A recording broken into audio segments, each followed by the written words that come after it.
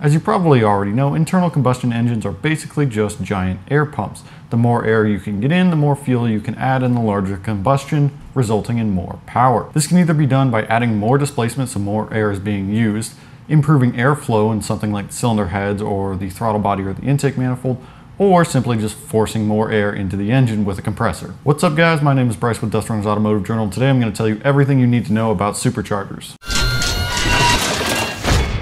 If you've spent more than two seconds on YouTube, at some point you've probably come across videos of crazy high horsepower street cars with massive turbos on them. What you probably didn't know is that turbochargers are actually a form of supercharging and were originally known as turbo superchargers, although that's a super long name and now they're kind of just referred to as turbos or turbochargers. The whole idea of a supercharger started all the way back in the 1860s when two brothers patented an idea for an air mover to use for blast furnaces. This air mover, designed by Philander and Francis Roots, was later used on the very first two-stroke engine. Fast forward to 1885 and the idea of placing a Roots supercharger on an internal combustion engine was patented by Gottlieb Daimler. Although you're probably used to seeing American muscle cars with massive Roots superchargers, the very first production vehicles to use these superchargers were actually from Mercedes-Benz and these models were known as their compressor models which is a marketing term that they still use today. Fast forward to today and there are basically three different kinds of superchargers that you'll see in the automotive market. Roots superchargers, twin screw superchargers, and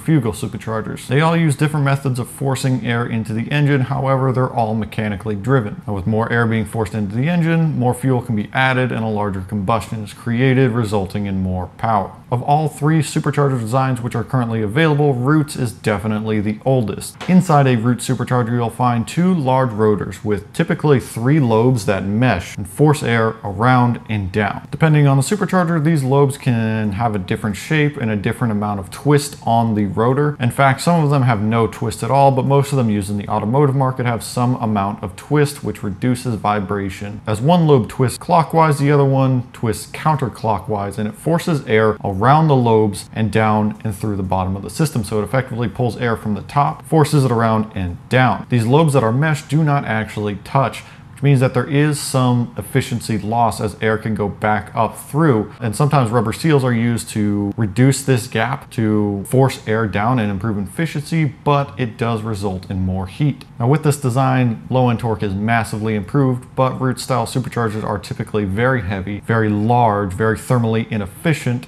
and take a lot of power to drive. Now many of the Roots superchargers that you'll see on old school muscle cars and hot rods are not intercooled, which results in super high charge air temperatures. Now, on top of those high charge air temperatures, the Roots design is just thermally inefficient in the first place, resulting in even higher charge air temperatures. Hotter air is less dense than cold air and more susceptible to detonation. Now moving on from the Roots supercharger, we have the twin screw supercharger, which works in a roughly similar fashion. Now where the Roots supercharger takes air from the top of the supercharger and forces it down, the twin screw supercharger takes air from either the front or the rear of the supercharger and forces it to the other side and then down. Now with the twin screw supercharger, the tolerances between the lobes are very tight, so it's less likely for air to bypass the rotors like it can on a Roots style supercharger. It works similar to a Roots style supercharger where there are two lobes, but in this case, there is a male and a female rotor. As the rotors twist, air is forced down the screw and eventually down into the engine. Now compared to a Roots style supercharger, a twin screw screw is much more efficient, much quieter, much smaller, and much more thermally efficient. On top of that, twin screw superchargers with their much smaller design are very easy to intercool and most aftermarket twin screw superchargers that you'll find have an intercooler underneath the blower to cool the air before it enters the engine. Like a Roots supercharger, the twin screw has really good throttle response and creates boost almost instantaneously, so there's really no need to wait for it to spool up. Now, both a Roots and a twin screw supercharger are known as a positive displacement supercharger and they output a fixed amount of air per revolution. Now this is where a centrifugal supercharger is fundamentally different in that it doesn't output a fixed amount of air per revolution. Now, if you've ever seen a centrifugal supercharger, you might think that it looks an awful lot like a turbocharger, and that's because effectively the cold side of a turbocharger is the same as the basic part of a centrifugal supercharger. Where a turbocharger is driven by engine exhaust gas, the centrifugal supercharger is driven by the serpentine belt. Both a turbocharger and a centrifugal supercharger use an impeller propeller to force air into the engine. Centrifugal superchargers are geared to spin a certain amount of times per engine revolution, and this design limits low end power, but as the centrifugal supercharger continues to spin faster and faster as engine RPM increases, they begin to move a massive amount of air. Now, one of the biggest benefits with a centrifugal supercharger is the ease of intercooling them.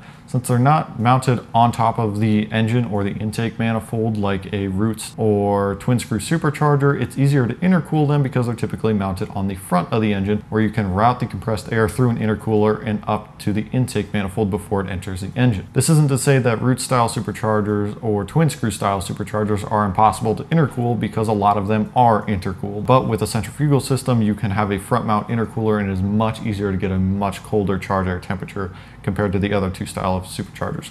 On top of that, centrifugal superchargers are more thermally efficient and don't generate as much heat. Now, depending on your application, each style of supercharger has its pros and cons. For the most part, Roots style superchargers aren't used on street modified vehicles because of how large and heavy they are on top of being thermally inefficient. Applications where you'll typically see a Roots style supercharger is on a drag car or a dragster or an old school muscle car. Even then, a lot of those old school muscle cars could just use a twin screw supercharger and probably end up making more power, but they won't have have the awesome look and sound of a Roots style supercharger. Now, centrifugal superchargers are very popular for street applications because of how quiet, compact, and easy to intercool they are. The only place where a centrifugal supercharger really falls short is low end torque, but if you're okay with having mild low end torque but a ton of top end torque, then a centrifugal supercharger is perfectly fine for you. If you really want that low end torque and like a really good kick as soon as you hit the throttle, twin screw supercharger is probably better for your application. So I hope that explains everything you need to know about superchargers. If you have any questions, be sure to drop them down in the comments below and I'll do my best to explain. Be sure to hit that thumbs up button and subscribe and I will see you guys in the next video.